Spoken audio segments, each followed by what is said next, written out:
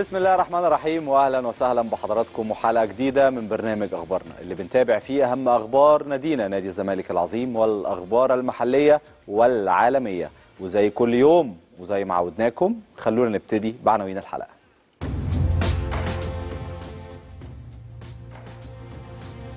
الصفقة الأولى محمود بنتايج زملكاوي. الزمالك وسبورتنج تجربة مفيدة. صلاح قاهر مانشستر يونايتد.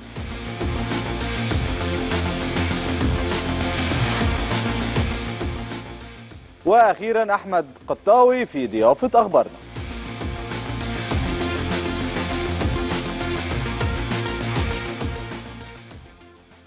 أما عن موضوع حلقتنا واللي حابين نعرف رأي حضراتكم عنه منتظرين إجاباتكم هو أهمية التعاقد مع المغربي محمود بنتايج لتدعيم الجبهة اليسرى. منتظرين آرائكم وتعليقاتكم على مواقع التواصل الاجتماعي أو ال social media.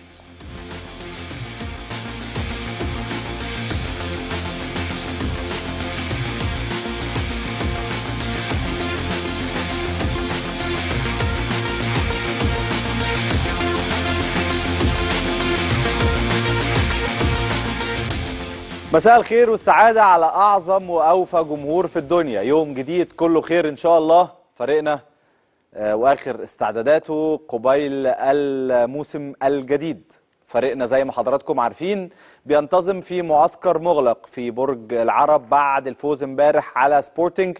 كان في مباراة مع آه، الفريق السعودي وبلغنا حضراتكم طبعا إن حصل أو جد جديد وقدر الإداريين في الحقيقة والناس شغالة على طول في ثانية كانوا بيوجدوا البديل وكان في مواجهة طبعا مع سبورتنج ونادي الزمالك فاز بثلاثية نظيفة وإن شاء الله يكون في مباراة ودية تانية بكرة بإذن المولى عز وجل.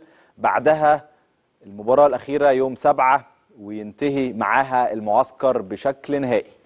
هيكون في يوم أو هيكون في راحة بسيطة بعدها ونستأنف تدريباتنا مرة تانية قبل السفر إلى كينيا لخوض المعترك الإفريقي بمباراة الشرطة الكيني في بطولة الكونفدرالية الإفريقية. والحقيقة المباريات الودية اللي بتكون في ال pre-season مفيدة جدا خصوصا إنك بتقدر من خلالها كمدرب تشرح أفكارك. طبعا خلاص جوزيه جوميز على رأس القيادة الفنية ما بقاش جديد على اللعيبة ولا اللعيبة جديدة على جوميز ولكن الراجل بيجدد من نفسه. كل شوية في أفكار. كان في بعض المشاكل في الموسم اللي فات الحتة اللي ما بين 6 و8 في نص الملعب. والسرد باكات الراجل اشتغل عليها. بعض المشاكل هتواجهه السنة دي آه، في تصحيح ال- الأخطاء الدفاعية والتمركز. وجوميز شغال في كل هذه الجزئيات ولكن خلونا ناخد حضراتكم لخبر آخر سعيد وهو طبعا آه، جماهير الزمالك منتظره الإعلان عن صفقات جمهور الزمالك منتظر المزيد والمزيد من مجلس الإدارة المحترم. ولكن امبارح كان يوم سعيد على جماهير نادي الزمالك خصوصا بعد الإعلان.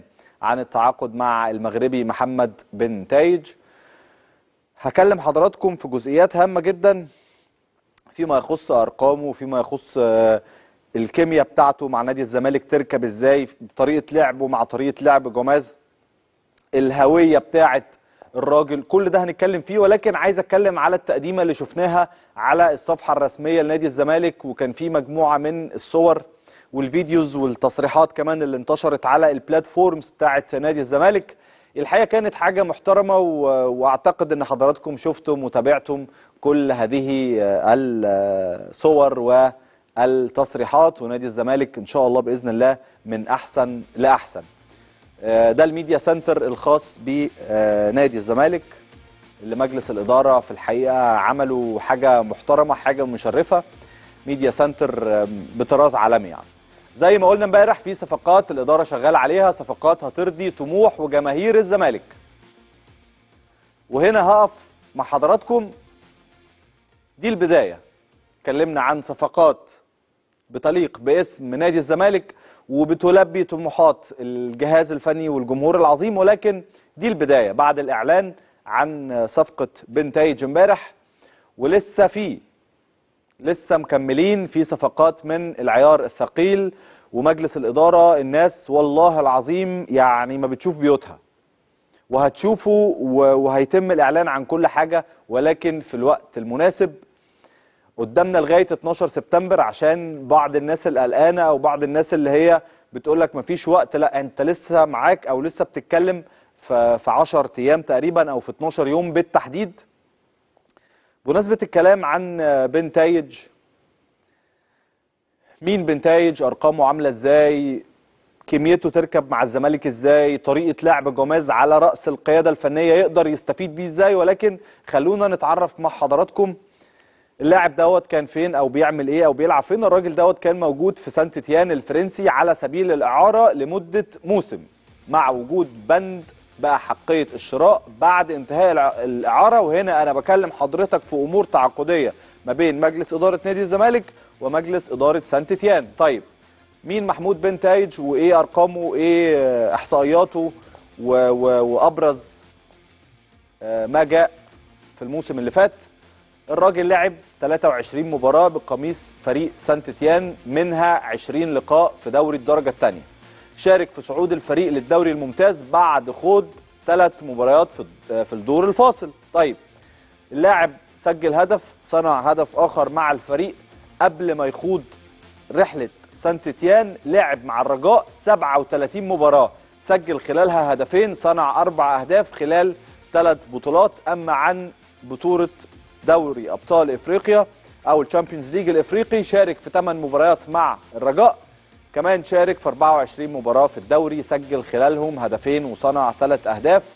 محمود بن تايج لعب مع فريق اتحاد المحمدية في بطولة كأس العرش والكونفدرالية الإفريقية 2021 في ست مباريات سجل ثلاث أهداف بواقع هدفين في البطولة الإفريقية وهدف في بطولة كأس العرش وصنع هدف وحيد في مسابقة الكونفدرالية الإفريقية. طيب نقفل بقى الأرقام والإحصائيات.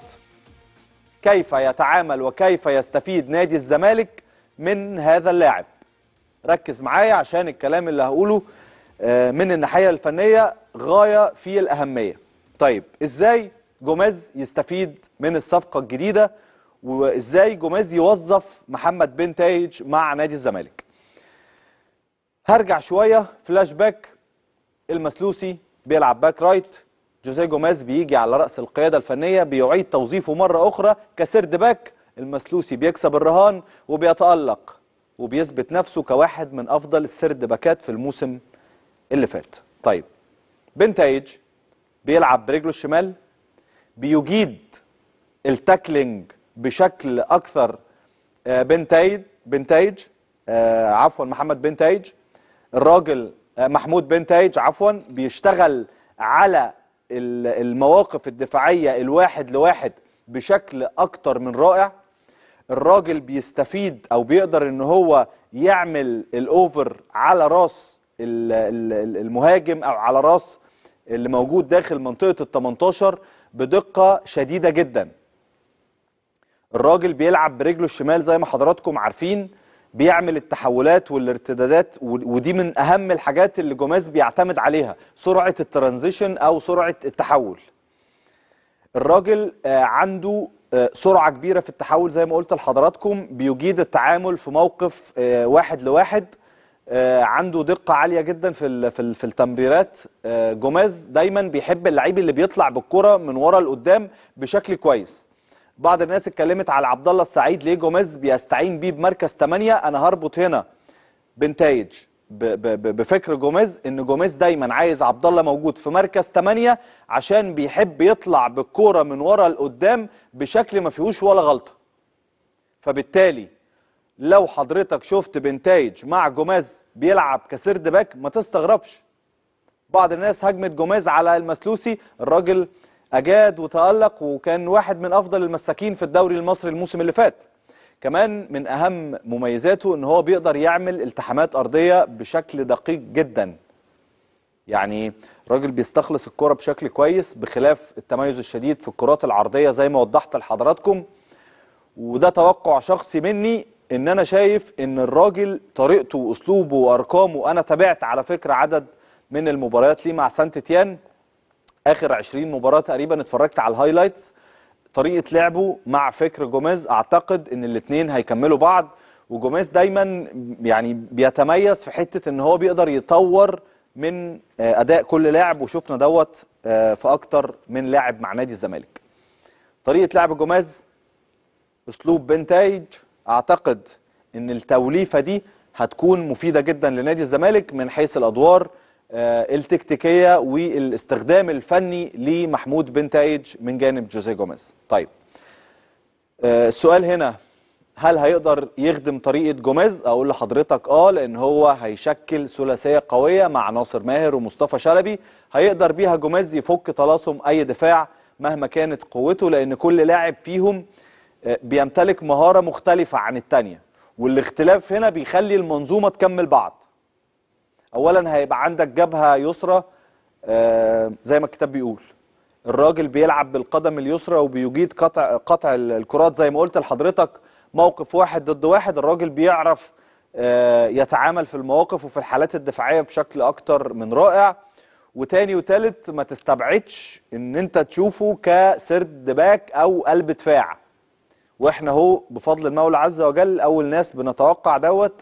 من خلال من خلال ال- ال- القراية بتاعتنا للمشهد أعتقد إن بنتايج هيكون ليه أكتر من استخدام مع جوميز آه، من حيث النواحي الدفاعية والنواحي الهجومية. لعب بيه قلب دفاع و... و... وتألق. هنقول الحمد لله وهنقول إن إحنا أول ناس توقعنا لعب بيه زي ما هو بيلعب ك back left ولكن أنا توقعي الشخصي إن هو هيكون ليه أكتر مع دور آه، هيكون ليه أكتر من دور مع جوميز.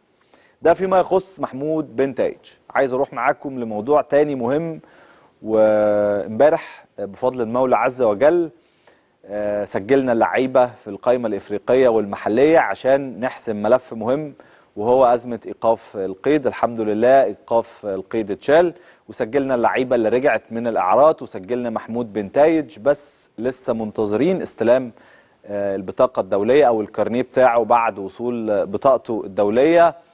شاء الله بإذن الله هيشارك في السوبر الإفريقي بشكل عادي جدا مفيش أي مشاكل خالص. كمان مباريات المجموعات في آه، الكونفدرالية الإفريقية هيكون موجود فيها. أي لاعب هيتسجل من هنا لغاية 20 سبتمبر هيشارك عادي في السوبر الإفريقي. تاني أي لاعب هيتسجل لغاية 12 سبتمبر هيشارك عادي في السوبر الإفريقي. فخلينا نتفائل خير إن شاء الله و و و ونسيب الناس تشتغل وإن شاء الله كلنا ثقة في مجلس الإدارة. نسيب الزمالك ونروح للفرعون المصري محمد صلاح. من شوية انطلق واحد من أهم الدوريات إن لم يكن هو الأهم والأكبر في العالم ال Premier League مواجهة نارية بين نجمنا المصري محمد صلاح أمام مانشستر يونايتد. و... وإحنا بنكلم حضراتكم دلوقتي هي الدقيقة 13 و0 0 ولكن لازم نتكلم على أرقام صلاح أمام مانشستر يونايتد. الراجل هو هداف الديربي برصيد 14 هدف متفوق على الأسطورة الإنجليزية ستيفن جيرارد برصيد 9 أهداف.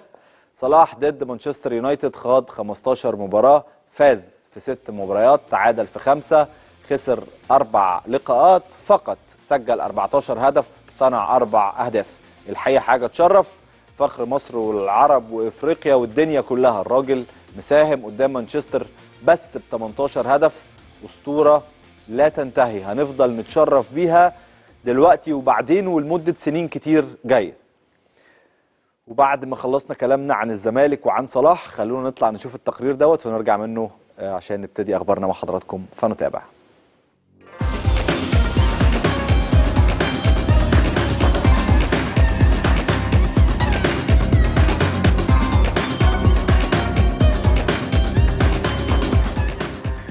خاض فريق الكرة بنادي الزمالك مباراة ودية هامة مساء السبت أمام نظيره سبورتينج السكندري.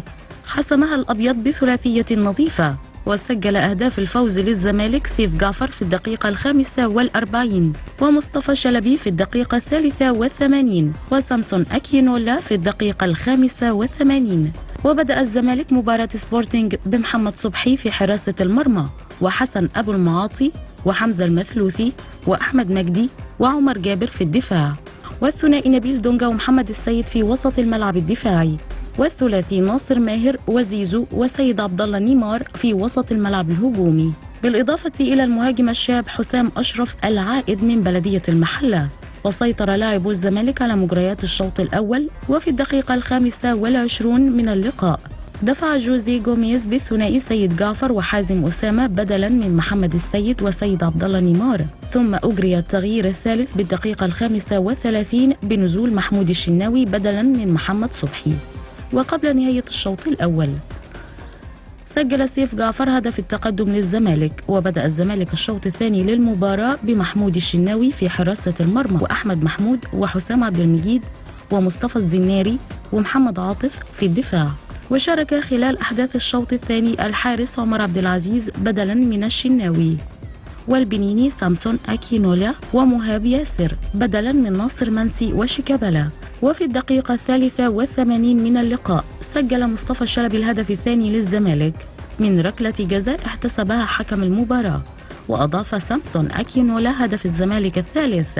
قبل دقائق من نهاية اللقاء لتنتهي المباراة بفوز الأبيض بثلاثية نظيفة في تجربة مهمة ومفيدة للجهاز الفني.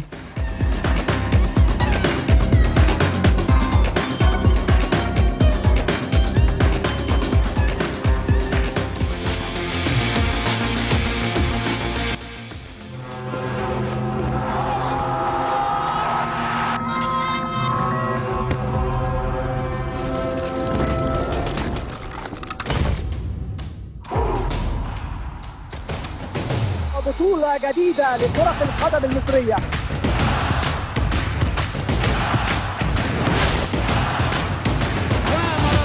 طويل طويل. في اختبار من ربنا.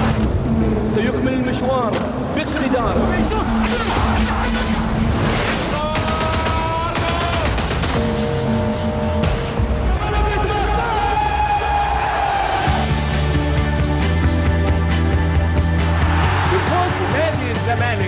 باللقب والبطولة ويرفع رصيده من الألقاب.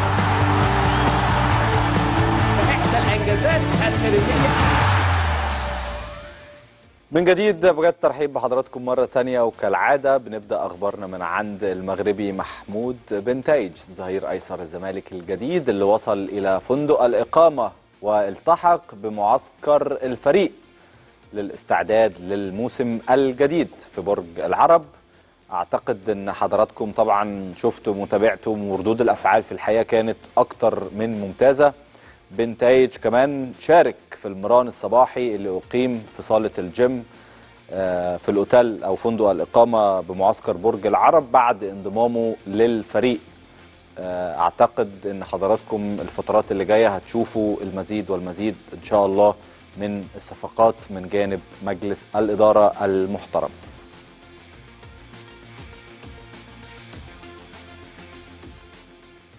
نروح للاعبي الفريق اللي خاضوا تدريبات بدنية خفيفة. النهارده في فندق آه، الإقامة أو صالة الجيم تحت إشراف جواو ميجال مخطط الأحمال آه، بفندق الإقامة. كمان الجهاز الفني للزمالك بقيادة جوزيه جوميز كان ليه برنامج بدني للاعبين. خلال المعسكر دايما جوميز بيحب يحط plan أو خطة آه، لل... إن هو يطلع بالمعدل البدني أو ينزل بالمعدل البدني على حسب احتياجات الفريق وعلى حسب التوقيت. فبالتالي كان في فقرات تدريبية في الجيم آه، في فندق الإقامة على أن يتم تجهيز اللاعبين آه، للمران المسائي. وهنا بنتكلم على الجزء الفني. قبل ما نكمل كلامنا عن أخبار فرقتنا بينضم لينا واحد من نجوم منتخبنا الوطني ونجم نجوم نادي الزمالك السابق الكابتن هشام يكن. يا كابتن هشام مساء الفل عليك. بتشرف دايما بوجود حضرتك معانا. دي حاجة ازيك يا قمر. عامل إيه؟ طمنا عليك يا كابتن وحشني. أنا الحمد لله و يعني طول ما إن شاء الله بإذن الله نادي الزمالك بخير نادي كلنا هنبقى بخير. أخد آه، حضرتك لجزئية فنية سريعة كده فيما يخص محمود بنتايج شفنا جوميز بيستعين بالمسلوسي في مركز ال third back ومفيش حد في نادي الزمالك أو في مصر أحسن من كابتن هشام يكن يكلمنا في جزئية ال third backات. آه. المسلوسي كان أصلا back right ولكن جوزيه بالظبط. استعان بيه في مركز ال third back والراجل كسر الدنيا. الناحية الثانية محمود بنتايج في في في, في وضع الواحد أو أو أو لمواقف الواحد لواحد دايما بيجيد قطع الكرات بيعمل tackling بشكل رائع. الراجل عنده آه، ال accuracy أو دقة التمرير آه، بنسبة جيدة جدا. فبالتالي ممكن نشوف محمود بنتايج بيكون ليه استخدام آخر من جوزيه جوميز في حتة ال third back مش بس آه، ك back left؟ لا بص هو يعني يعني عشان بس نبقى دايما آه، آه، متفقين. ده مركز بعيد كل البعد عن المركز ال- ال backين لأن الأطراف. ليهم واجبين واجب دفاعي وواجب هجومي ال third backات لو ليهم واجب هجومي فهو في الكرات الثابتة. أو يعني لما يكون مكمل في إحدى الألعاب اللي ممكن يكون اتحط في وضع إن هو يحتاج إن هو يكمل بالكورة. ويطلع بيها إذا كانت هجمة مرتدة لكن لما نيجي نتكلم على الشق. الدفاعي بشكل كبير جدا فهذا ال- السندباكات يختلف تماما على الباكين. اولا آه، آه، أسلوب كل حاجة الكرات العرضية وقفتهم الاستخدام آه، رجليهم الاثنين لازم يكون في تفوق فيها. يعني وإذا ما كانش اللعيب هيكون بيجيد اللعب بالاثنين بالثيرد باك بالذات هتلاقي وقفته دايما غلط. يعني يعني من صفات حضرتك هنا بتتكلم عن التمركز. بالظبط. فالتمركز ده ما هو انت سببه خسرته ثلاثة من الكاس. بسبب التمركز والتصرف ال- أثناء اللعبة فعشان كده أنا بقول إن الأخطاء الدفاعية دايما. بتيجي نتيجة التمركز وعدم دقة استخدام. وقفة اللاعب داخل الملعب صحيح فدي هي النقطة اللي إحنا بنتكلم عليها فالنهاردة. لما أجي أستعين بمسلوسي إن هو يجيد إن هو يلعب في المكان ده.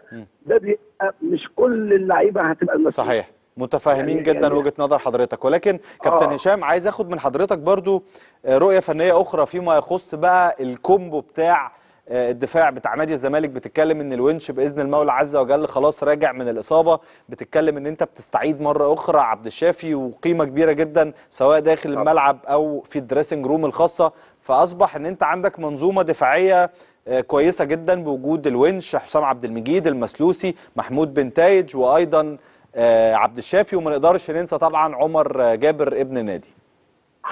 طبعا يعني بص أقول لك على حاجة أسامي كلها كويسة جدا. مم. أنت بس يعني هي المسألة إن إحنا إن شاء الله بإذن الله يبقى في آه، آه، سرعة تأقلم. صحيح. آه، آه، مهمة جدا التاقلم مهم جدا. وإن إزاي إن أنا أستغل في الفترة اللي جاية في الأيام القليلة لأن فترة الإعداد ما هياش فترة طويلة وكان إحنا طالعين من موسم كروي تقيل وطويل مع اللعيبة فكان لازم إن هم يستريحوا شوية. لكن أنا شايف طبعا فترة الراحه يعني مش كبيرة لكن إحنا لازم نستغلها صح. يعني لازم نعمل ترابط فكري وبدني مع بعضينا علشان خاطر نقدر آه، هندخل على ماتش صعب في أول مراحل ال- ال- الاشتراك تاني إنك أنت ترجع كبطولة وترجع في لقاءات كبيرة جدا. فيجب عليك إنك أنت تكون عامل تحضيرات غير طبيعية وإن اللعيبة كلها تنسجم بسرعة وده عايز تقارب آه، كلام كتير مع بعض آه، عادات مع بعض اتفرج على رؤية المدرب أو آه، اعمل اجتماعات كتير جدا باللعيبة. آه، دايما الاطراف الملعب آه، تبقى في نقاش دائما مع بعضهم. آه، كل مجموعة بتبقى خطوط آه، مع بعض إذا كان خطوط عرضية أو خطوط طوليه إن إحنا نقدر نتناقش مع بعض عشان نقدر نوظف نفسنا لبعضينا صح؟ هو ده المفروض إن يتعمل الفترة اللي جاية. الكلام الكتير في الكورة ال- ال- ال- الرؤية ال- اللي تبقى موجودة إذا كان في نوع من النوع الخططي بيبقى مرسوم على أو موجود على إحدى مثلا إشارات الفيديو أو ال- ال- الحاجات بنسترجعها عشان نقدر نتكلم ونوجه اللعيبة بحاجات كتير. لازم اللعيبة عشان نلحق نعمل ترابط. الوقت مش مش كبير إن إحنا ننسجم لكن نقدر الأفكار بتاعتنا تبقى قريبة من بعض من خلال الرؤية آه، مع بعضنا اللي هي الكلام والمحاضرات مع المدربين المختصين التدريبات الخاصة اللي هي اللي يجب على المدير الفني إن هو يكون حاططها في دماغه بالنسبة لكل خطوط الملعب سواء الدفاعية اللي هي الفردية أو الجماعية التغطية الجماعية مهمة جدا والمهم التغطية الفردية مهمة جدا. الحاجات دي هترفع من مستوى اللعيب فأفتكر إن ده هنشتغل عليه فأكيد ممكن طبعا لعبتنا تستجيب بسرعة. الونش رجوعه مهم جدا جدا جدا لأنه من أفضل اللعيبة اللي أنا شفتها في الفترة اللي فاتت. كانت صحيح. إن شاء الله بإذن الله يكون آه آه يعني مع الفريق. إن شاء الله بإذن الله ويقدر يقوم بدوره. آه ولو تواجد أفتكر إن طبعا هيبقى عندنا قوة ضاربة في الدفاع إن شاء الله بإذن الله. كابتن هشام فيما يخص المنظومة أو المنظومة الدفاعية لنادي الزمالك أنا ما أعتقدش إن في أي حاجة تاني ممكن تتقال بعد الشرح الوافي والكافي والرؤية الفنية المميزة من حضرتك. الله يخليك يا حبيبي. أشكرك يا كابتن هشام. شكرا. جزيلا نجم نجوم نادي الزمالك ومنتخبنا الوطني الكابتن هشام يكن. وخلينا نكمل مع حضراتكم باقي أخبارنا. عواد قصته إيه؟ عواد زي ما حضراتكم عارفين خلاص جدد التعاقد وموجود دلوقتي مع آه، نادي الزمالك في البري سيزن كامب أو في معسكر آه، التحضير للموسم الجديد بعد إعلان النادي بالأمس عن تجديد تعاقده لمدة ثلاثة مواسم جديدة. طبعا عواد هيشارك في التدريبات الجماعية للفريق بشكل طبيعي جدا. مساء اليوم. كل التوفيق لعواد فيما هو قادم. مصطفى شلبي تلقى تهنئه خاصة من آه، الموقع الرسمي أو الصفحة الرسمية لنادي الزمالك على الفيسبوك بمناسبة عيد ميلاده وبنقول له طبعا كل سنة وأنت طيب يا درش وكل التوفيق إن شاء الله ليك فيما هو قادم. طيب آه، هنختم أخبارنا من عند بعثة فريق السلة اللي وصلت بفضل المولى عز وجل لقطر آه، منذ ساعات لخوض مباراتين وديتين أمام الرياضي اللبناني يومي 2 و4 سبتمبر الجاري. وبتضم قائمة الزمالك عمر هشام معاذ أيمن أحمد ياسر عبد الوهاب آه، ياسر عبد الوهاب وعلي عمر وعمر عزب ومهاب ياسر ومحمد يونس وآدم الحلواني وبهاء رمضان وأحمد عزب ومحمد إبراهيم محمد أيمن أحمد إسماعيل وأيضا بيضم الجهاز الفني وائل بدر مديرا فنيا ومحمد السحرتي مدربا عاما إسلام جمعة طبيبا ومحمد سعيد مخطط أحمال. أما عن المدير الإداري فهو مصطفى حسن.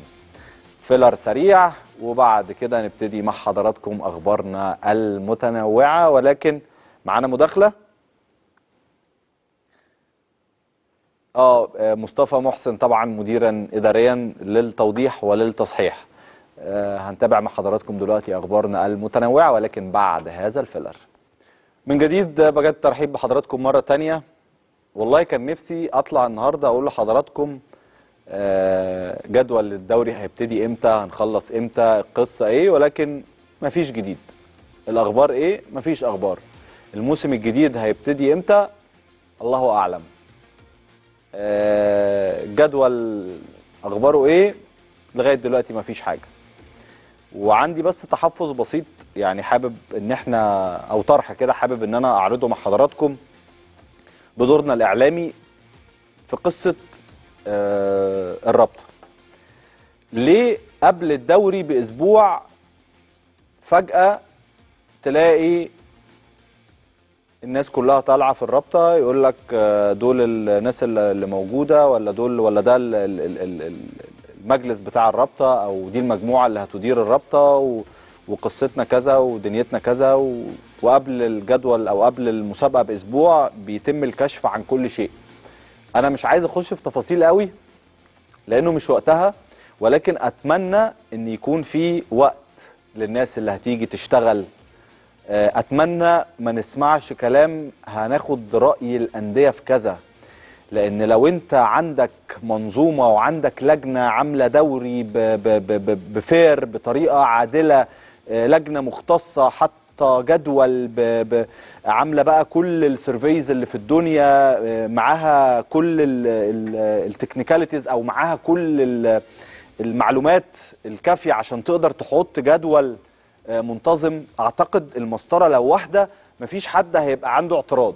يعني لو حطيت جدول بمعايير فيها fairness أو فيها آه، عدل وفيها آه، وعي بكل أمور الكرة المصرية والمشاركات الإفريقية والتوقفات الدولية وكل الكلام دوت. لو أنت حطيته في عين الاعتبار وعملت جدول منتظم وع- وعرفت الناس التوقف الدولي يوم كذا المشاركات الإفريقية يوم كذا الفرقة هتاخد مثلا ثلاث أيام عشان المشاركة أو أربع أيام عشان المشاركة الإفريقية. ايا كان. ولكن حتة إن أنت ترجع لنادي عشان تحط لائحة أو تحط قانون أو إحنا ضد ده تماما. لأن حضرتك اللي بتدير مش النادي اللي بيدير. حلو إن أنا أقعد مع الناس على الترابيزة وآخد رأيهم ما عنديش أي مشكلة. بس إن أنت تحط جدول أو تعمل لائحة أو أو تاخد قرار بناء على رغبة نادي أو على رأي فلان ما أعتقدش إن دي حاجة هتكون في الصالح العام. فأتمنى إن إحنا يبقى عندنا system ماشيين عليه لائحة واضحة وصريحة ومعلنة للكل جدول منتظم ملم فيه بكل التوقفات الدولية ملم فيه بكل الأمور ال- ال- ال- اللي بتخص الطب الرياضي وال sport psychology ويبقى عندك لجنة فيها ناس مختصة أو ناس experts كده زي ما بنشوف في كل دوريات العالم. ما نجيش قبل الدوري بأسبوع نعلن بقى عن كل حاجة. وهنا أنا مش بتكلم على على على شخص معين أو بتكلم على شيء معين أنا بتكلم على concept أو على قاعدة عامة بتصب في النهاية لمصلحة الكرة المصرية. وفي خبر آه، طبعا لسه عارفينه دلوقتي حالا إن هو إحراز ليفربول الهدف الأول بصناعة النجم والأسطورة محمد صلاح. خلينا آه، لويس دياز هو اللي أحرز الهدف بالمناسبة. خلونا نبتدي أخبارنا المتنوعة من عند منتخب كاب فيردي اللي وصل اليوم للقاهرة لإقامة معسكر تدريبي لمدة خمس أيام استعدادا لمواجهة مصر الجمعة المقبلة بإذن المولى عز وجل في الجولة الأولى من تصفيات أمم إفريقيا. منتخب كاب فيردي بس عشان بعض الناس ممكن تبقى واخدة عنه انطباع إن هو منتخب ضعيف منتخب كاب فيردي من أقوى المنتخبات اللي موجودة داخل أفريقيا دلوقتي. آه فعلا هو من أقوى المنتخبات اللي موجودة في أفريقيا دلوقتي وحضراتكم هتشوفوا دوت على أرض الملعب. عندهم جيل رائع من اللعيبة وعاملين كانوا مكسرين الدنيا في الفترات الأخيرة. اتحاد كاب فيردي لكرة القدم آه، أعلن أن المنتخب آه، هيكون في آه، sports camp أو training camp في القاهرة استعدادا آه، لمواجهة مصر. المعسكر بتاعهم آه، هيكون آه، بداية من 1 سبتمبر بقائمة تضم 24 لاعب استعدادا للتصفيات الإفريقية. طيب من كاب فيردي نروح لمنتخب آه، كرة آه، تأهل منتخب آه، كرة الكرة للهدف إلى ربع نهائي منافسات دورة الألعاب البارالمبية وطبعا في باريس رغم الخسارة أمام ال- الخسارة الأولى كانت أمام أوكرانيا صح يا شباب؟ آه الخسارة الأولى كانت أمام أوكرانيا في الجولة الأولى ثم الصين في الجولة الثانية ويتواجد ضمن ثمان منتخبات في منافسات كرة الهدف بدورة الألعاب البارالمبية وبعد خروجه آه، طبعا آه، أعتقد أنه كل المنتخبات لها منا كل الدعم ولكن هيخوض مجمو... آه، هيخوض لسه مباراة في دور المجموعات وأعتقد إن هو هيكون موجود برضو وفقا للترتيب بتاعه في دور الثمانية وهيخوض منتخب كرة آه، الهدف مباراة ربع نهائي المنافسات غدا أمام أول المجموعة الثانية. طيب عشان نوضح لحضراتكم الصورة أول مباراة ليهم هتكون غدا بإذن المولى عز وجل وأيضا في منافسات التجديف احتل الثنائي علي الزيني ومروة عبد العال المركز العاشر في سباق القارب الزوجي المختلط آه، وهو إنجاز تاريخي آه، طبعا بيتحسب للثنائي المصري كونها المشاركة البارالمبية الأولى ورياضه التجديف المصرية في دورات الألعاب البارالمبية وكل التوفيق طبعا لأبطالنا من ذوي الهمم. أما عن دوري القسم الثاني القرعه أسفرت آه، عن مواجهة أو مواجهات قوية في الأسبوع الأول بعد ما تم إجراء آه، القرعه النهارده في مقر اتحاد الكرة بحضور طبعا ممثلي الأندية. وجاءت مباريات الجولة الأولى كالتالي طنطا مع وادي دجلة. وادي دجلة في الحقيقة كان مقدم كرة ممتعة زي ما حضراتكم شفتم وتابعتم مع تاكيس جونياس. كانوا بيقولوا حتى ال sexy football و... وكان حتى ال... ال... ال... الأندية الجماهيرية تلاقيها بتتابع وادي دجلة. آم، زملكاوية أهلاوية من إسماعيلية من الاتحاد من المصري. كان ليها دايما كده نصيب من المتابعة الجماهيرية للكرة الجميلة اللي كانت بتقدمها فرقة وادي دجلة و... وقطاع الناشئين في الحقيقة أكثر من ممتاز. لافيينا آه، مع رايا أبو قير للأسمدة آه، لا عفوا آه، أبو قير للأسمدة مع المنصورة ولافيينا مع رايا السكة مع أسوان كهربة الإسماعيلية مع بيروت الترسانة مع منتخب السويس القناة مع المقاولين الداخلية مع بلدية المحلة. وطبعا نجم نجوم نادي الزمالك السابق كابتن إبراهيم صلاح على رأس القيادة الفنية. للمحلة بنقول له بالتوفيق إن شاء الله وكل آه، الدعم ليه واحد من أبناء نادي الزمالك المخلصين. آه، بلدية المحلة عفوا. سبورتنج مع بترول أسيوط الاتصالات مع بروكسي واتحاد الكرة كمان كشف إن دوري القسم الثاني ألف المعروف باسم دوري المحترفين سيقام من آه، دورين في الموسم الجديد وليس من دور واحد كما حدث في الموسم الماضي. كمان اتحاد الكرة في لائحة الموسم المقبل أكد أن قيمة الاشتراك في بطولة آه، سواء الدوري الممتاز أو كأس مصر هي هي نفس ال- ال- القيمة اللي موجودة في اللائحة والاشتراك أو قيمة الاشتراك في البطولة آه، للموسم الجديد آه، هتكون كالتالي وهنستعرضها مع حضراتكم.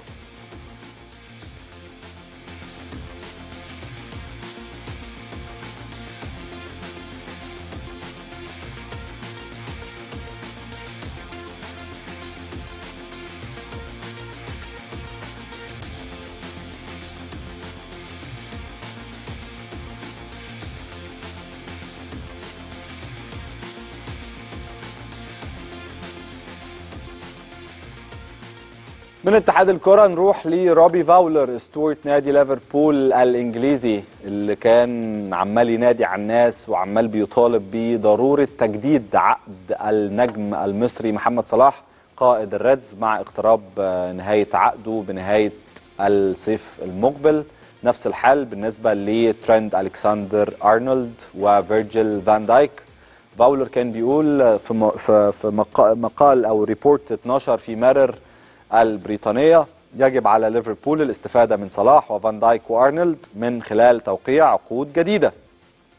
ويتعين على ملكي ليفربول تقديم عرض للثلاثي الذي سيتم آه، تذكرهم كأساطير ويجب أن يكون عاجلا وليس آجلا. ولكن أنا هنا بضم صوتي لصوت فاولر لأن في الحقيقة أنت بتتكلم على ال- المثلث بتاع أرنولد وفان دايك وصلاح. يعني دول أعمدة الفرقة. أعتقد إن هم ليهم الدور الأكبر آه، خلال ال- الموسم الحالي وهم من وجهة نظري الشخصية يعني. آه، طيب خبر آه، يعني سعيد طبعا لكل عشاق آه، النجم المصري محمد صلاح اللي مكسر الدنيا في الحقيقة في ال Premier League الهدف الثاني وبنفس الطريقة. وبنفس الأسلوب وبيمارس هوايته المفضلة في الأسيستات وإعطاء الهدايا لكل زمايله صلاح بيعمل الأسيست الثاني أمام مانشستر يونايتد. طيب أكدت صحيفة الشرق الأوسط السعودية اليوم على انتقال متعب الحربي لاعب الشباب إلى الهلال وهي الصفقة الأغلى في تاريخ اللاعبين السعوديين.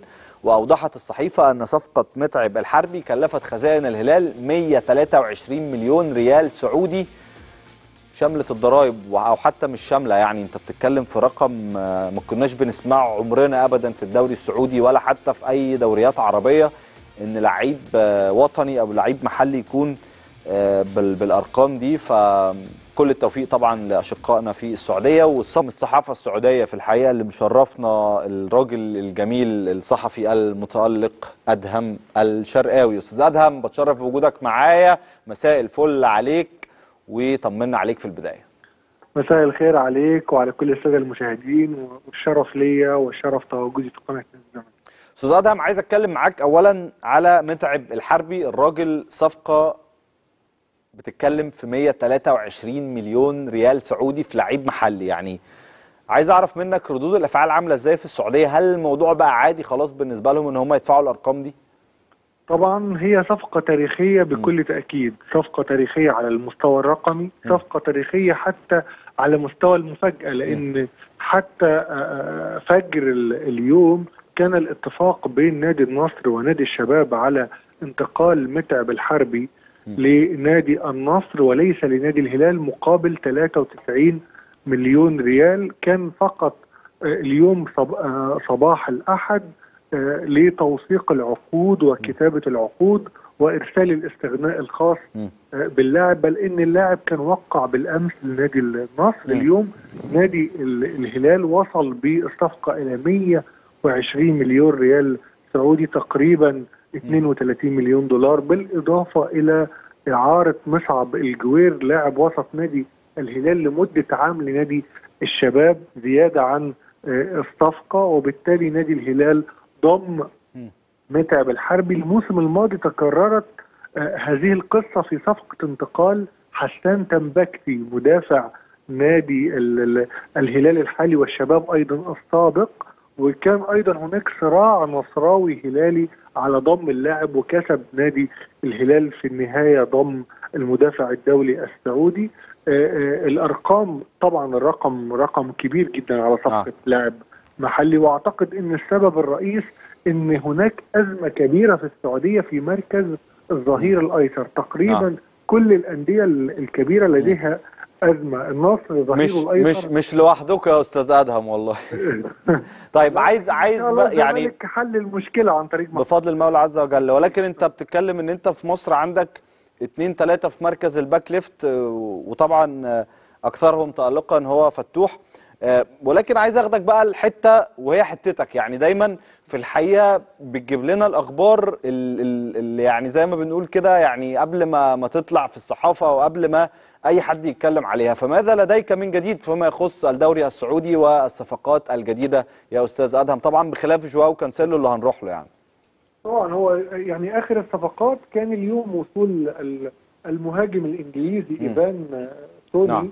للنادي الأهلي السعودي كان مم. الأهلي السعودي كان أنهى اتفاقه مع فيكتور اوسيمين مم. هداف النيجيري لنادي نابولي وهداف الدوري ولكن هو تراجع عن الصفقة في اللحظات الأخيرة بالفعل آه. لأنه كان خياره الأول هو التعاقد مع إيفان توني المهاجم الدوري الإنجليزي من صحيح نادي برينتفورد آه.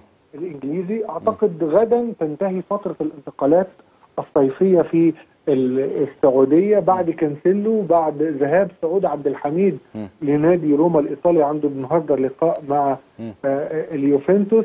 آه، نادي النصر سيعلن آه، مساء اليوم عقب الفحص الطبي عن المدافع القادم من لايبزيج الألماني محمد سيماكان في آخر صفقات نادي النصر استعدادا للموسم الجديد كان النصر تعاقد مع أحد المواهب البرازيلية بالأمس ويسلي قادما من كورنكيانز البرازيلي أيضا وبالتالي دي آخر الصفقات. ربما تكون هناك صفقة مفاجأة وحيدة في آه، الصفقات غدا وهو إن نادي الشباب بدأ بالحديث مع سيرخو راموس للتواجد مع نادي الشباب. نادي الشباب الآن انتعش ب 120 مليون ريال بعد بيع صفقة متعب الحربي ويريد صحيح. أن يستغل هذا المبلغ بس اللي أنا أعرفه يعني من خلال متابعة آه، الصحف العالمية يعني إن راموس عنده تحفظ على الانتقال للدوري السعودي الله أعلم ولكن دي التصريحات اللي اللي اتنقلت على لسانه. والله هو التحفظ كان في الموسم الماضي لكن آه، أعتقد إن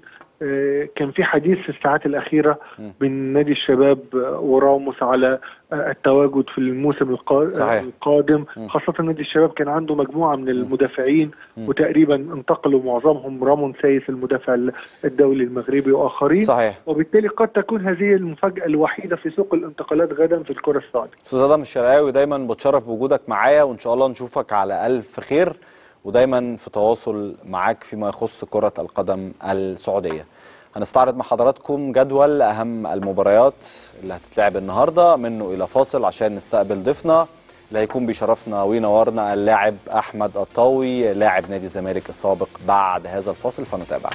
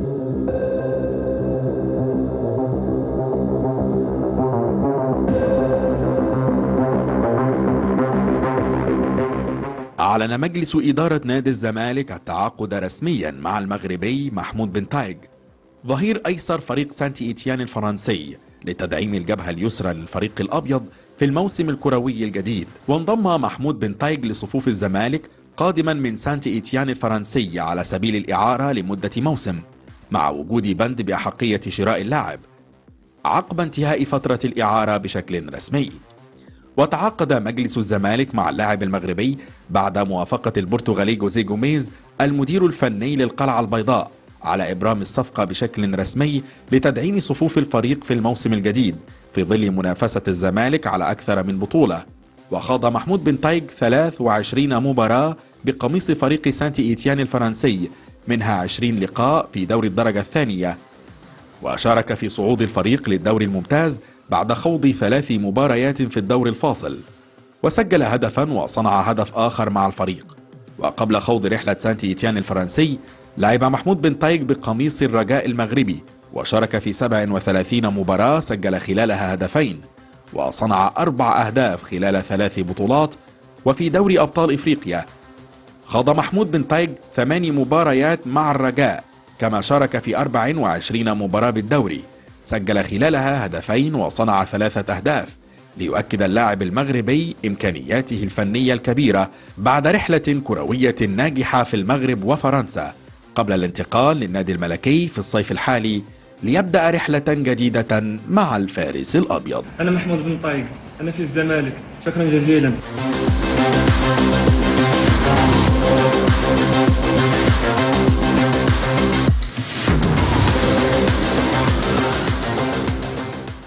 من جديد بجدد ترحيب بحضراتكم مرة تانية. مشرفنا ومنورنا الكابتن أحمد قبطاوي لاعب نادي الزمالك السابق. كابتن أحمد بتشرف بوجودك معايا. حبيبي كابتن ربنا يخليك وشرف ليا ومبسوط إني موجود معاك. في البداية عايز أعرف بقى ماذا عن التحديات فيما يخص جوزيه جوميز في ال pre-season إيه أبرز الحاجات اللي محتاج يشتغل عليها ويبتدي إزاي يرتب أوراقه للموسم الجديد؟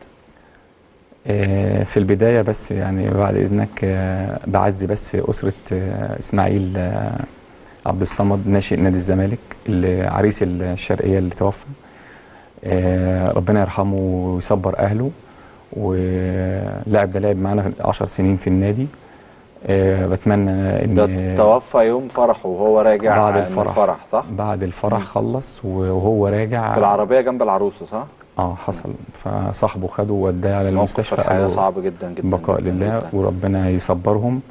وده قعد 10 سنين كان لعيب جامد جدا وكان قريب مننا. أنا سمعت كمان إن هو كان متغرب سنين كتير عشان يبتدي آه. يعمل شقته ويجهز نفسه بعد ما للجواز و... بعد ما ساب الكورة آه سافر. والده كان والده جاله صدمة توفى بسبب إن هو بعيد عن الكورة. وهو يعني نتمنى يعني إن حد من النادي إن هم يتواصلوا مع أهله ويشوفوا احتياجاتهم ربنا يصبرهم يا رب رحمة الله عليه يا رب يا رب.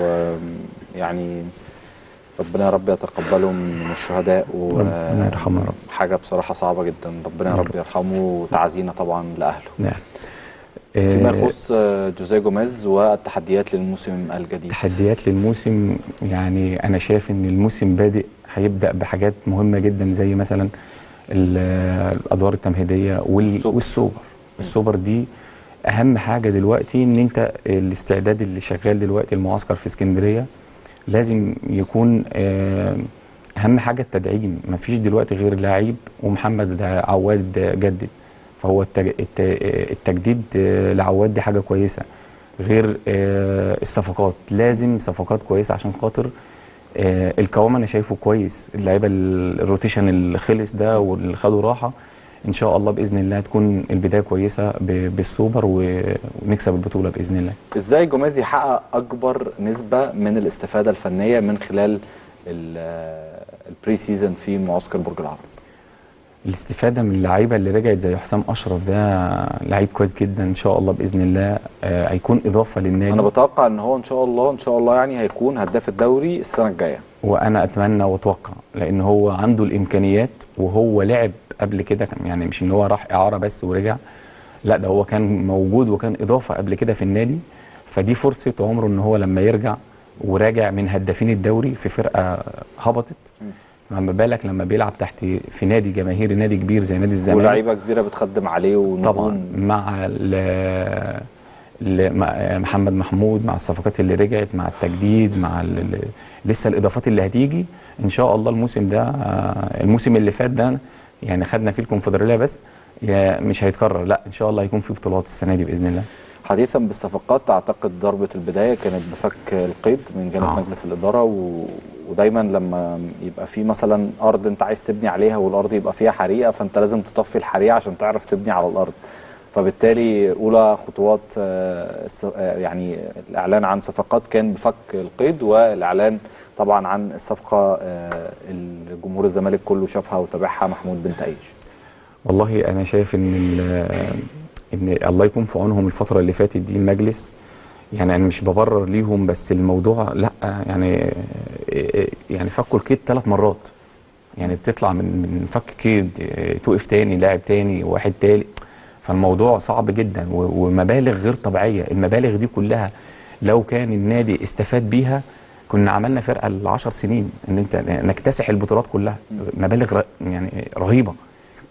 فإن شاء الله بإذن الله يعني يقدروا كمان إن هم يدعموا والفترة اللي جاية كمان آه، بصفقات كويسة. آه، في إن شاء الله يعني نتمنى صفقة بن شرقي تخلص برضو هتفرق قوي.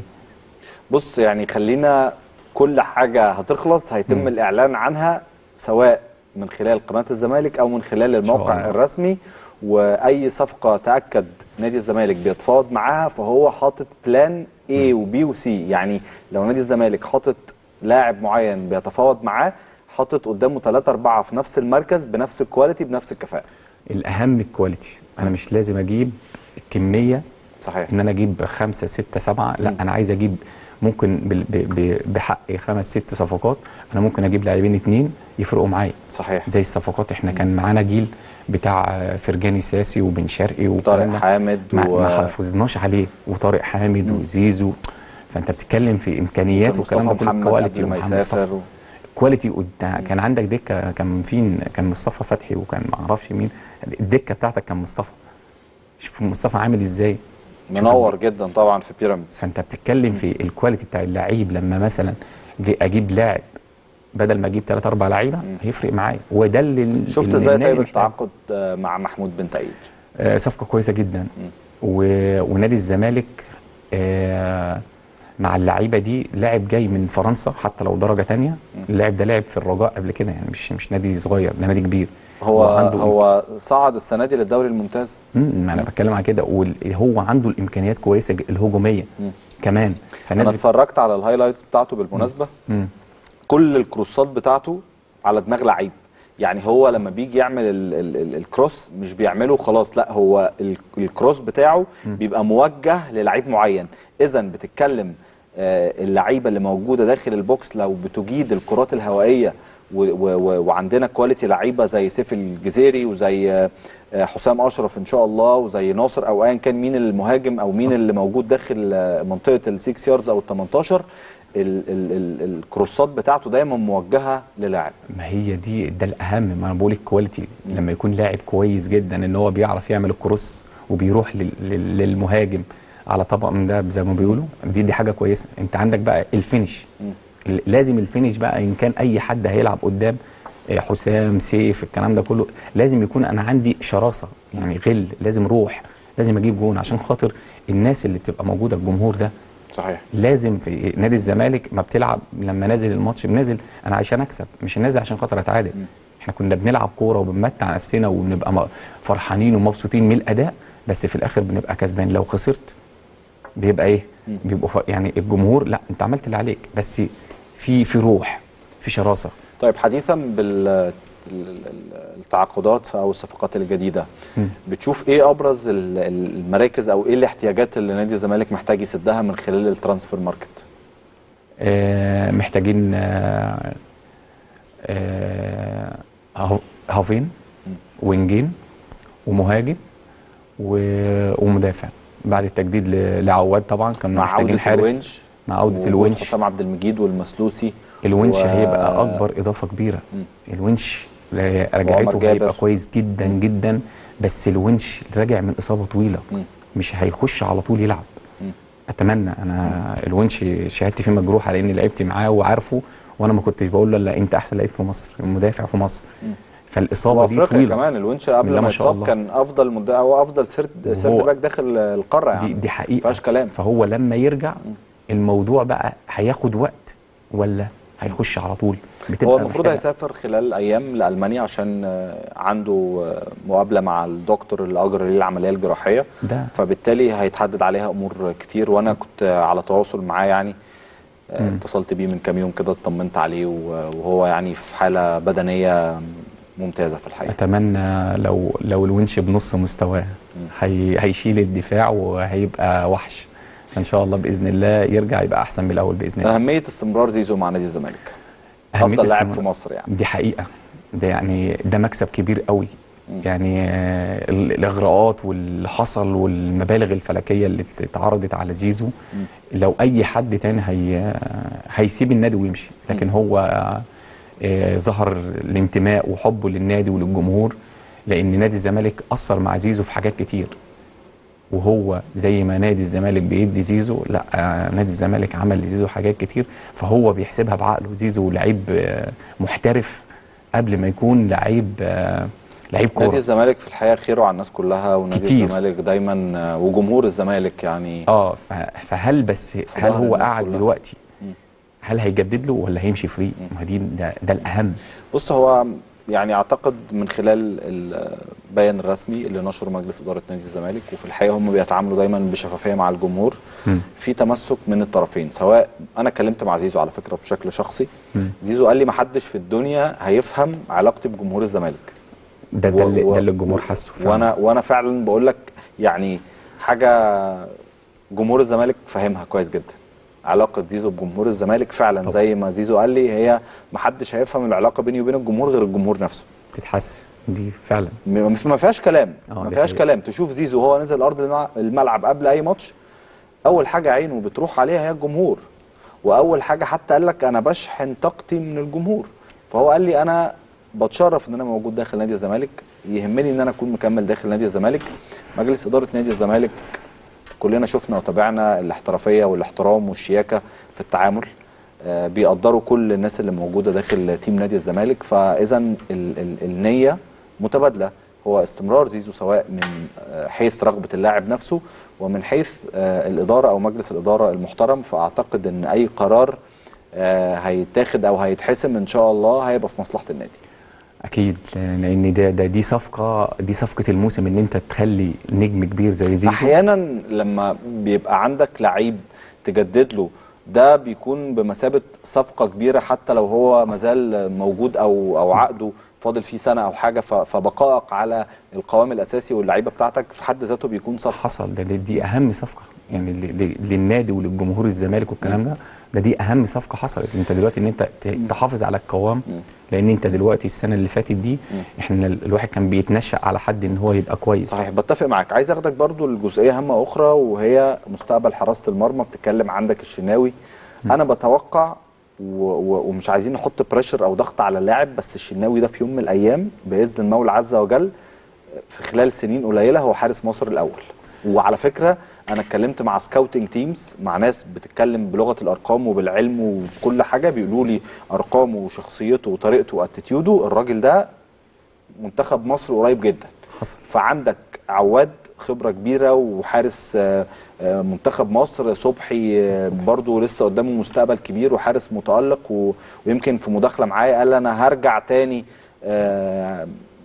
لسابق عهدي. وأعتقد إن كل هذه الأمور في الآخر لما يبقى عندك منافسة كده كل حارس وراه اتنين حراس تقال وكبار بيدبدبوا وراه أيوة. ده بيكون ال- المنتج اللي انت عايزه يكون. موجود في حراسة المرمى بتاعت. نادي الزمالك إيه يعني إضافة كبيرة جدا لعيب صغير بس بتفكير وبشخصية كبيرة لعيب كبير عنده إمكانيات صحيح أنا بحييك على التصريح ده آه فعلا لأن ال- ال- اللاعب بيظهر من أول ماتش ليه وهو ظهر وفرض. شخصيته والإمكانيات بتاعته.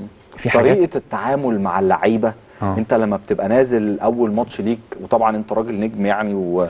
وليك باع كبير في الملاعب ولكن لما تبقى لسه نازل بتبقى مستني اللعيبة تطبطب عليك واللعيبة تدعمك. إنما لما أنت تبقى أنت نازل وشايف الملعب وكاشف الملعب وتبتدي تحرك زمايلك وتتكلم معاهم في أول مشاركة ليك فدي شخصية كبيرة ما جدا. هي دي بقى اللي اللاعب الكويس اللي هو عنده شخصية. ال- الشخصية بتفرق. في لعيبة كويسة جدا كتير. بس في تحت ضغط جماهيري أو تحت ضغط أندية كويسة كبيرة تلاقيها آه، تهتز. لا الموضوع بيبقى صعب. لكن أنت لاعب صغير يطلع ويبقى كويس وعنده شخصية وبيتكلم مع اللعيبة الكبيرة دي دي أنت بتكسب شخصية وتكسب نجم كبير جاي في الطريق. لا كمان لما لعب كان ماشي كان ظاهر وكان ماشي كويس جدا.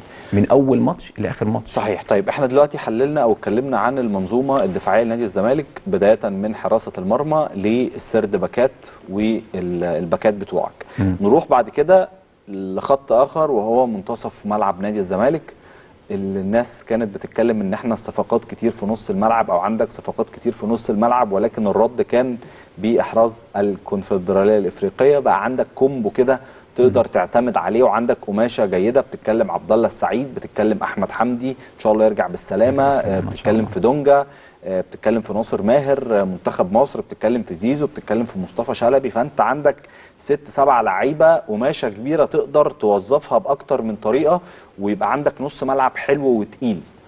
عندك فيه كل حاجة. يعني- خليط النص ملعب ده الخليط الكوكتيل في كل حاجة الخبرة والشباب والإمكانيات صحيح. والر- والروح. والمستقبل. الحاجات دي كلها اللعيبة دي بال quality دي كله هيفرق معانا. وانت دلوقتي انت داخل في دو الدوري عندك يعني في دوري وفي أفريقيا وفي كاس وفي سوبر وفي سو يعني بطولات كتير. فلما يكون عندك العدد ده هيفرق معاك في في rotation ال rotation بتاع الدوري غير السنة اللي فاتت ال rotation ما كنتش بتلاقي لعيبة. صعدت لعيبة ناشئين. فانت خدت منهم كام لاعب؟ طلع. يعني طلعنا. بكام لاعب كويس صغير والباقي انت مكمل معاك. في ناس هتطلع اعارات هتستفاد منها والكلام ده كله يلعبوا ويرجعوا تاني ياخدوا خبرة وينضجوا. لكن دلوقتي النص الملعب آه، انت مش محتاج اي حد فيه بصراحة. التدعيم آه، يبقى مثلا قدام إن ماشي. كان بدأنا بحراسة المرمى مرورا بالسرد باكات والرايت والليفت باكس.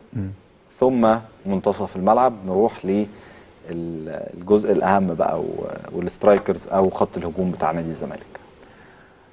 لازم آه، لازم صفقة كده مع مصطفى شلبي وده أنا نتمنى جمهور الزمالك كله يتمنى إن شاء الله إن بن شرقي يخلص. آه، هتبقى كويسة جدا هو وتنافس بينهم الاثنين عارف إحنا بنتمنى إيه؟ إحنا بنتمنى اللي يكون موجود اولا طبعا يكون quality و... طبعاً. و... و... و... ويلبي أو أو يسد الاحتياج الفني. طبعاً. ولكن هقول لك إحنا بنتمنى إيه ولكن بعد هذا الفاصل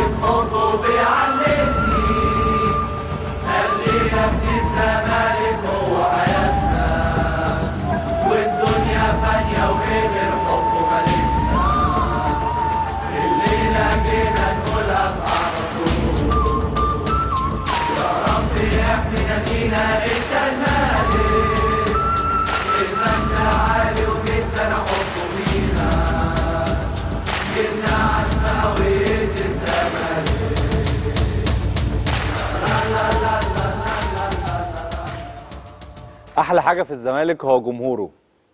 وأحلى حاجة في جمهور الزمالك إن هو حبه لنادي الزمالك حب غير مشروط ولا ببطولات ولا بكؤوس ولا بأي حاجة.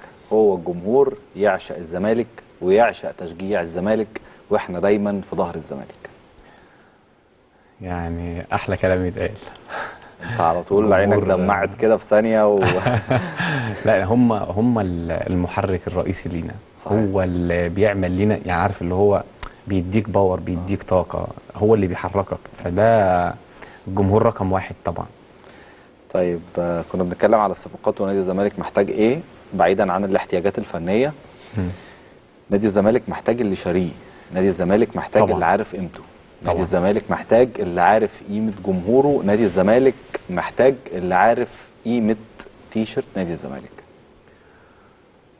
أي حد أي صفقة بيت بيتكلم فيها نادي الزمالك نادي الزمالك آه، بيضيف للاعب مش اللاعب اللي هيضيف له.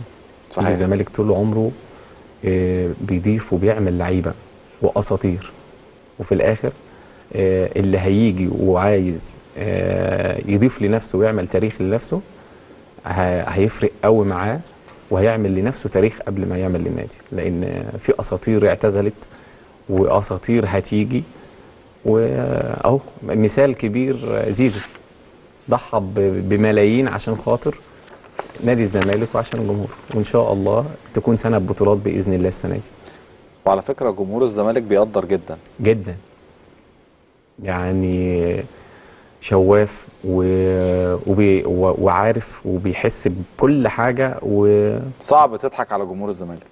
مش مش مش مش جمهور الزمالك اللي ينضحك عليه. لأن هو دلوقتي بيشوف كل حاجة وبيحس بكل حاجة.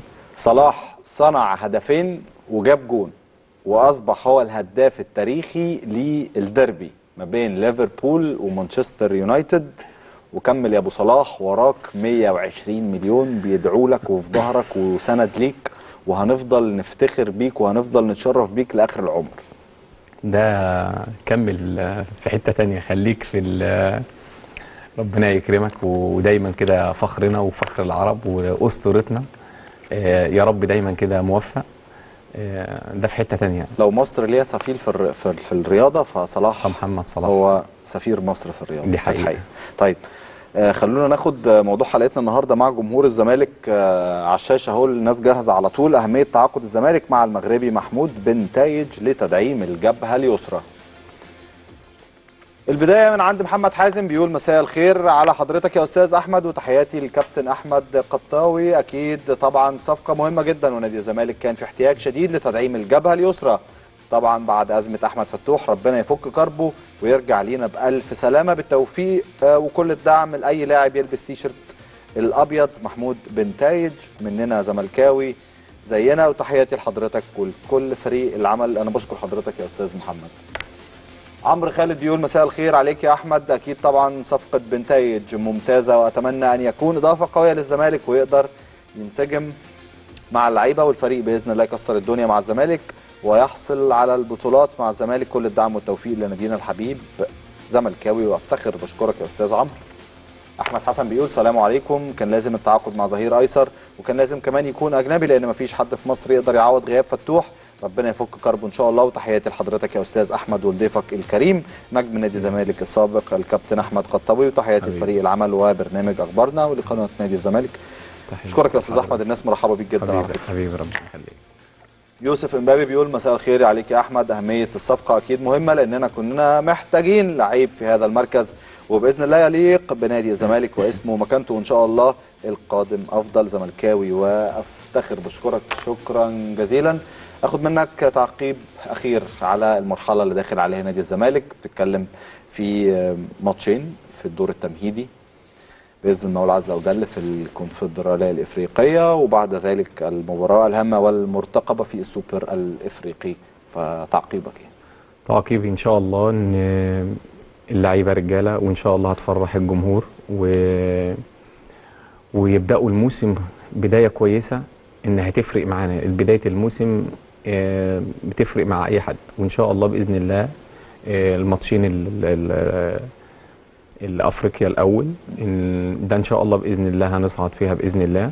تكون بداية مبشرة عشان خاطر آه، تخلي الجمهور آه، يعني يحس براحة شوية عشان خاطر ماتش السوبر. وإن شاء الله بإذن الله آه، هيبقى ماتش السوبر ده استعداد ليه. وإن شاء الله بإذن الله أنا متفائل خير إن إحنا هنكسب السوبر. أنت لعيب محترم حبيبي ربنا يخليك. وزملكاوي بجد ربنا يخليك. وصاحب جدع. حبيبي ربنا يخليك واتشرفت بوجودك معايا وإن شاء الله دايما حبيبي. تقدم وفي نجاح ودايما منورنا في ربنا. يخليك بنورك وأنا مبسوط ان أنا كنت موجود معاك و- وموفق دايما يا رب إن شاء الله ربنا يعزك حبيبي شكرا. جزيلا جمهور الزمالك العظيم أوفى وأعظم جمهور في الدنيا حبيبي. أنتم أحلى نعمة والله العظيم في الدنيا ودايما سبب وأهم سر في الحياة لنادي الزمالك في بطولات في إنجازات في أي تحدي طول ما الجمهور ده في ظهر نادي الزمالك عمرك ما تخاف على نادي الزمالك. بكرة إن شاء الله حلقة جديدة من برنامج أخبارنا. بشكر حضراتكم. شكرا جزيلا.